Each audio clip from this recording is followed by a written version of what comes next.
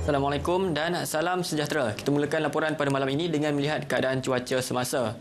Imej gemerada menunjukkan keadaan cuaca hujan lebat dan ribut petir pada hari ini didapati berlaku melibatkan hampir ke semua negeri di sekitar Semenanjung dan keadaan cuaca yang lembap ini dijangka akan berterusan sehingga ke lewat malam nanti terutamanya membabitkan negeri-negeri di sekitar utara dan juga di sekitar pantai timur Semenanjung ini. Kita lihat pula tinjauan cuaca untuk negeri Sabah dan Sarawak.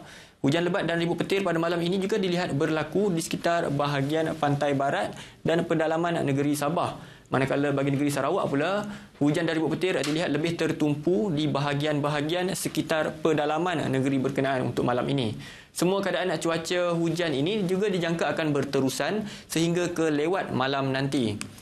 Selain itu, amaran angin kencang dan laut bergelora juga masih lagi berkuat kuasa bagi kawasan-kawasan perairan yang berwarna kuning dan kawasan perairan yang berwarna jingga. Dan keadaan ini adalah berbahaya untuk sebarang aktiviti perkapalan, perikanan, bot-bot kecil serta aktiviti sukan dan rekreasi laut yang lain.